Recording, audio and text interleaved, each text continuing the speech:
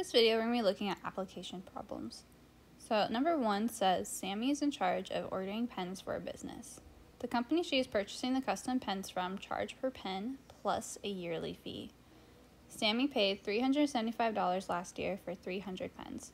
This year she pays $725 for 1,000 pens. Write the system that represents the situation. Then find the yearly fee and cost per pen. Okay, so first, when I am looking at application problem, I want to figure out what are my two variables and label them. Usually you can find this in this last sentence, and this last sentence says to find the yearly fee and the cost per pen. So I'm going to label the yearly fee as X and the cost per pen as Y. So I have X equals yearly fee and Y equals cost per pen. Next, I like to look for totals in my problem because that's what I'm going to be setting my equations equal to. So looking here, I see that first Sammy paid $375 last year. So I know one of them is going to be equal to 375 and then I see that this year she paid 725.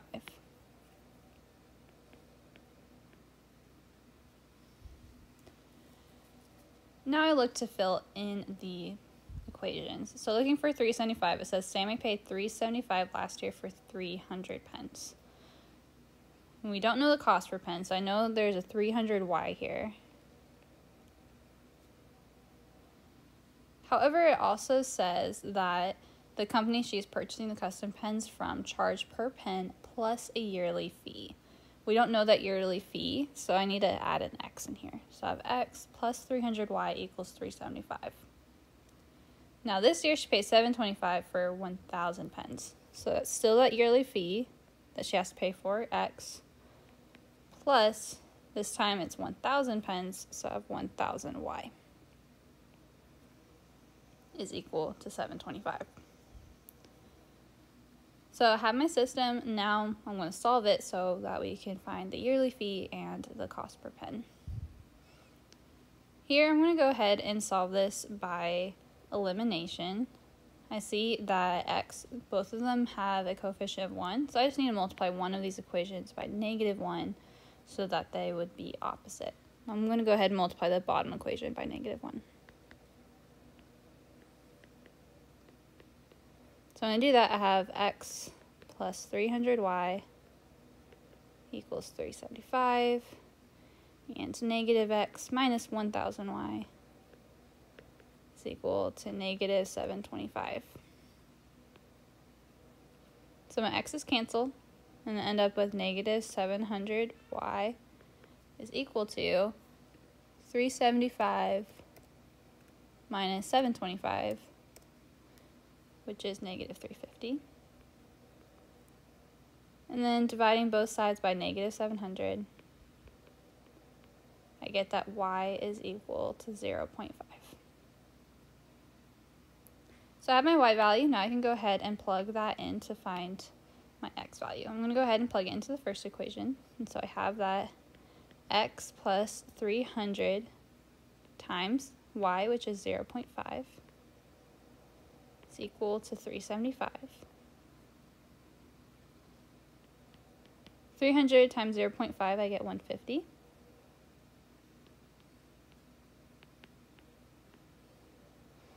And subtracting 150 from both sides, I get that x is equal to 225.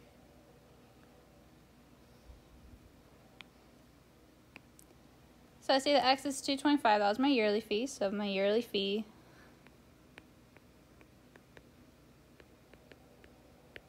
is 225. Cost per pen is 50 cents.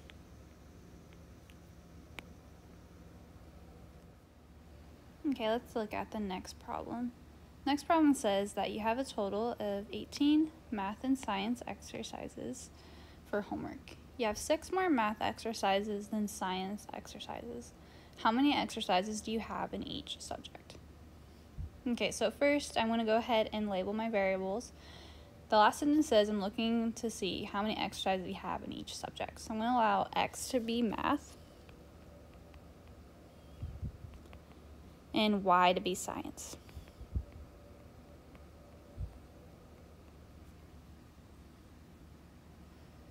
And looking for totals and says I have a total of 18 math and science exercises. And then it says I have six more math exercises and science exercises. So I'm going to take that first sentence and create an equation first. And it says I have a total of 18 math and science exercises. So I know it equals 18. And to add up to what equals 18, well, it's going to be a number of my math and the number of my science. So it's just going to be x plus y is equal to 18. The next sentence says that I have six more math exercises than science exercises. So that means that x, my math, is going to equal to my science plus 6 because I have 6 more math than I have science. So I get this system, x plus y equals 18, and x equals y plus 6. Now this one's already set up for substitution because I already have x isolated in my second equation. So what I'm going to do is I am going to substitute y plus 6 in for x in my first equation. So when I do that, I get y plus 6 plus y is equal to 18. y plus y, I get 2y plus 6 is equal to 18. Subtract 6 from both sides, and I get 2y is equal to 12. And then divide both sides by 2, and I get that y is equal to 6. So I have my y value, now I need to find my x value.